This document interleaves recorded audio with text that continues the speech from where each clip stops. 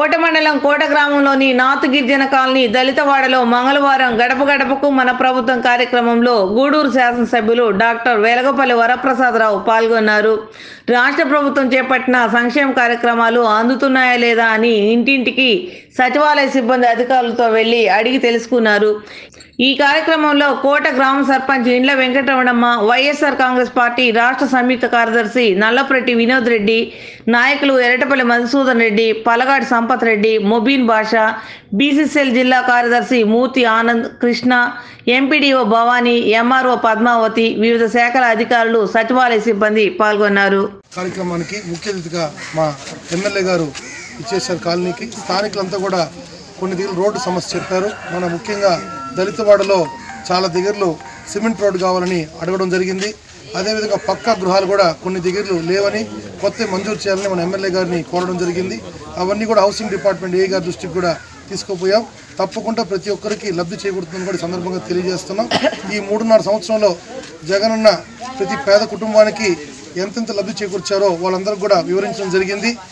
ఏ ముఖ్యమంత్రి చేయని విధంగా ఈరోజు మన వైఎస్ జగన్మోహన్ రెడ్డి గారు చేయడం చాలా సంతోషకరం. రానున్న రోజుల్లో కూడా ఇంకా ఎన్నో సంక్షేమ కార్యక్రమాలు అభివృద్ధి కార్యక్రమాలు కూడా చేస్తూ వస్తారు. శాశ్వత ముఖ్యమంత్రిగా జగన్ ఉంటారని కూడా ఈ సందర్భంగా తెలియజేసుకుంటూ సెలవు తీసుకుంటున్నాను. గత మూడున్నర సంవత్సరాలుగా వైఎస్ఆర్ పార్టీ అధికారంలోకి వచ్చిన తర్వాత జగన్మోహన్ రెడ్డి గారు ముఖ్యమంత్రి అయిన తర్వాత వారు పెట్టిన పథకాలన్నీ ప్రజలకు అందుతున్నాయా లేదా అని తెలుసుకోవాలనే ఉద్దేశంతో అన్ని సంక్షేమ పథకాలు అందుతున్నాయా?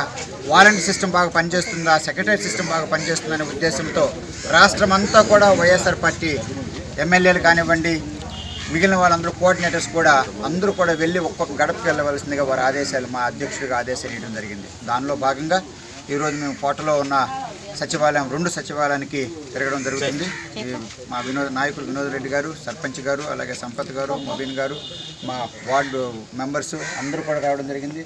అందరికి ధన్యవాదాలు తెలియజేస్తూ ముఖ్యమైన సమస్యలు మేము మాట్లాడినప్పుడు వచ్చింది ఏమిటంటే ఎక్కువ మంది ఇల్లు స్థా ఇల్లు అడిగారు.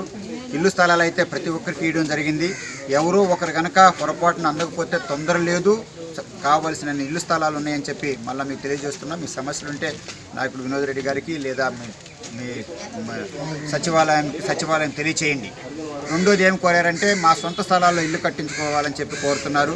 అది కూడా రాష్ట్రం అంతా పథకం రాగానే ఇక్కడ ఇప్పటికే మన ఏఈ హౌసింగ్ వచ్చి ఎవరికి ఇల్లు కట్టాలా అన్నది కూడా తీసి పెట్టడం జరిగింది. ఎండిఓ గారు ఏమో స్థలాలు ఏర్పాటు చేయడం జరిగింది. అలాగే ఎంఆర్ఓ గారు. ఇవన్నీ చేసి పెడతామని చెప్పి తెలియజేస్తూ అది కాకుండా కొన్ని మరికొన్ని అడిగారు రోడ్లు అవి అడిగారు. అవి కూడా ముఖ్యమంత్రి గారు గడప గడపకు మన ప్రోగ్రాం అనే కార్యక్రమంలో ఒక్కొక్క సచివాలయానికి ఇరవై లక్షలు ఇస్తున్నారు. ఆ ఇరవై లక్షలు కూడా అభివృద్ధి కొరకే ఇస్తున్నారు కనుక ఆ ఇరవై లక్షలు కూడా నాలుగు నాయకులతో ఆ ఇరవై లక్షలు నాయకులందరూ కలిసి ఇక్కడ సచివాలయంతో మాట్లాడుకుని ప్రజలతో మాట్లాడుకుని వారికి ఏది ముఖ్యమో అది ఏర్పాటు చేయవలసిందిగా నేను వారికి తెలియజేస్తున్నాను. దాంతోపాటు రెండు కోట్లు కూడా ఎమ్మెల్యే నిధులుగా ఇవ్వడం జరిగింది. అది నేను నిష్పత్తి ప్రకారం ఆ గ్రామానికి ఒక్కో సచివాలయానికి ఎంతో అదే ప్రకారం నేను చేస్తానని చెప్పి తెలియజేస్తూ ఇంత చక్కగా ఏర్పాటు చేసిన వినోద్ రెడ్డి గారికి మరి ప్రతి ఒక్కరికి కూడా ధన్యవాదాలు తెలియజేస్తున్నాను.